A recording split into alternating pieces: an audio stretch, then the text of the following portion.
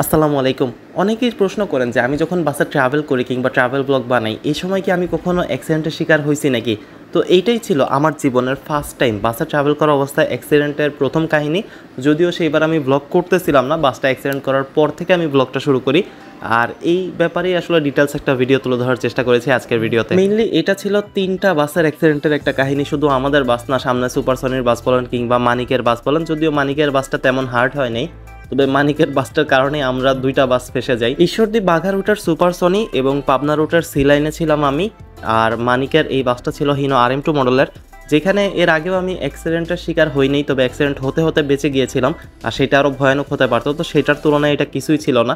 মানে এটা এরকম একটা অ্যাক্সিডেন্ট ছিল যে এটা যাত্রীদের কোনো ভয় ছিল না মানে আমরা দেখতেছি ধীরে ধীরে যে বাসটা ব্রেক করতেছে, তবেও যায় কাছে লাগে আর কাজটা টুস করে ভেঙে সামনে পড়ে যায়। মানিকের এই বাসটা হচ্ছে একটা মাছ দেখতে পায় রাস্তায় আর সেই মাছটা তোলার জন্য হচ্ছে তারা ব্রেক করে। আর এই অবস্থায় হচ্ছে পিছনে থাকে সুপারসনির বাসটা, তারা অনেক কষ্টে ব্রেক করতে পারে।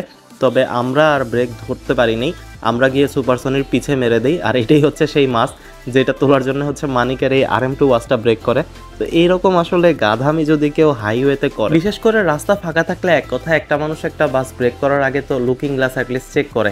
যেখানে দুইটা পিছনে বাস আছে চল্লিশ সিটার মানে আশিটা যাত্রীর লাইফ যেখানে রিস্কে পড়ে যাচ্ছে, সেখানে একটা মাছ তোলার জন্য একটা মানে ভালো কোয়ালিটির বাস বা লং রুটের বাস কীভাবে ব্রেক করে।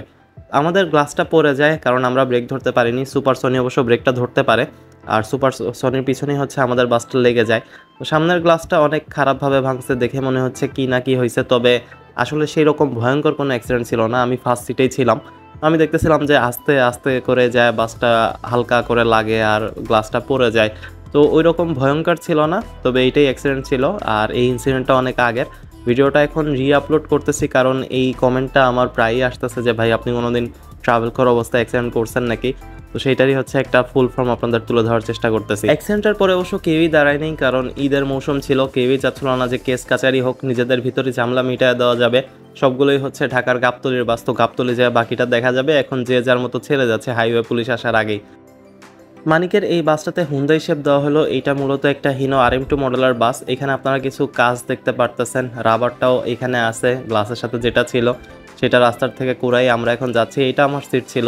তো আমি ওই দিন আসলে মানে পোকে উঠছিলাম কড্ডা থেকে। ওইভাবে আসলে আমার ব্লগ করার কোনো ইন্টেনশন ছিল না।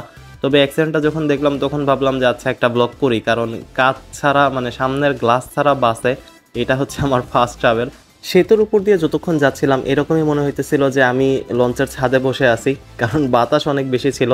যারা সামনের দিকের যাত্রী ছিল, সবাই হচ্ছে পিছনে চলে যায়, বাতাস, ধুলাবালি এই কারণে। সামনে কোনো গ্লাস না থাকায় সব কিছু একদম ফোর কেতে দেখতে পারতেছিলাম মানে ন্যাচারাল সিন অনেক সুন্দর লাগতেছিল। যদিও হচ্ছে আমাদের বাসটা খুবই আস্তে চলতেছে, সবগুলো বাসই আমাদের ওভারটেক দিয়ে যাচ্ছে। আর আস্তে চলা ছাড়া আমাদের কাছে আসলে কোনো ওয়েও নাই, কারণ সামনে থেকে যে পরিমাণ বাতাস আর ধুলাবালি আসতেছে তার ভিতরে বাসটা যে এরকম একটা স্পিডে চলতে পারতেছে, এই অনেক বেশি। এই ফাঁকে আমরা আরও একটা বাসকে দেখতে পাই, যেটা হচ্ছে প্রায় অ্যাক্সিডেন্ট করে সারছিল। তো সেটা দেখার পর যাত্রীরা খুবই এক্সাইটেড অ্যাক্সিডেন্ট দেখার জন্য। একটু আগেই হচ্ছে আমাদের বাসটা অ্যাক্সিডেন্ট করছে। আর যদি কোনো সিরিয়াস অ্যাক্সিডেন্ট হইতো, হয়তো মানে সবার অবস্থাই খারাপ হইতো। তবে মানুষজন আসলে অন্যের বিপদ দেখে বেশি মজা পায় সেটাই আসলে আরেকটা প্রমাণ। যে সামনে থাকা লোকজন বলতেছে যে, লাগছে নাকি? লাগলেই ভালো লাগলেই ভালো।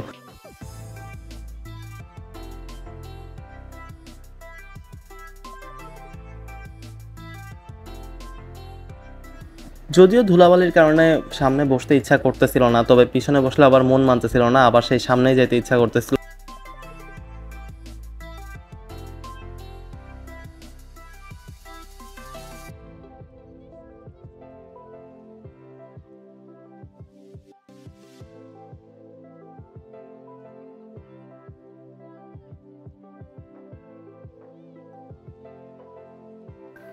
একটু পরেই মানিকের সেই বাসটা আবার আমাদের ওভারটেক করে চলে যায়, যেই বাসটার কারণেই আসলে আমাদের এবং সুপারসনির বাসটা অ্যাক্সিডেন্টের শিকার হয়েছিল। তার একটু সামনে গিয়ে টাঙ্গাইলের কাছে আমরা সুপারসনির বাসটাও দেখি। এই বাসের যে পিছনের গ্লাস যেটা ভাঙা দেখতেছেন এটা আমাদের বাসের সাথে গুতা লাগিয়েই ভাঙছে। আর এইটার ব্যাকের সাথে গুতা লাগিয়ে হচ্ছে আমাদের বাসের ফ্রন্ট ভাঙছে। তো মানে সিচুয়েশনটা আপনাদের ওইভাবে লাইভ দেখাইতে পারিনি, তবে আই হোপ যে আপনারা ইমাজিন করে নিছেন যে কীরকম ছিল সিচুয়েশনটা তো ড্রাইভাররা হচ্ছে বারবার কল দিতেছিল যে এই বাস নিয়ে আমরা যাব নাকি এটা চেঞ্জ করে অন্য বাসে হচ্ছে যাত্রীদের দিয়ে দিবে। সামনে গিয়ে আমরা দেখি যে মানিকের বাসটা বসে পড়ছে, হয়তো কোনো প্রবলেম হয়েছে, যার কারণে বসে পড়ছে গাড়িটা। রাস্তার তিন রাজে একদম পুরোপুরি রাস্তা দখল করে চলতেছে মানে পাশে দিয়ে যাওয়ার কোনো রাস্তা নেই। আর সাভারের সময় হচ্ছে যখন অন্যান্য গাড়ির সামনে দিয়ে মানুষজন দৌড়ে রাস্তা পার হইতেছে, ততক্ষণ হচ্ছে আমাদের গাড়ি দেখে সামনে কেউ দৌড় দেওয়ার সাহস পাচ্ছে না। মানুষ ভয়ে হচ্ছে এই বাসের সামনে দিয়ে দৌড় দিতেছে না বাসের অবস্থা দেখে। তো অনেকগুলো ধুলো খাই আমরা হিমায়তপুর এসে। আর এরপর হচ্ছে আমিন বাজারের কাছাকাছি আমাদের বাসটা ওয়ার্কশপে দিয়ে দেওয়া হয় কাজ করানোর জন্যে। আর সকল যাত্রীদের নামিয়ে দেওয়া হয় এখানেই। এরপর অন্য একটা সি লাইনের বাসে হচ্ছে আমাদের তুলে দেওয়া হয় টেকনিক্যাল পর্যন্ত।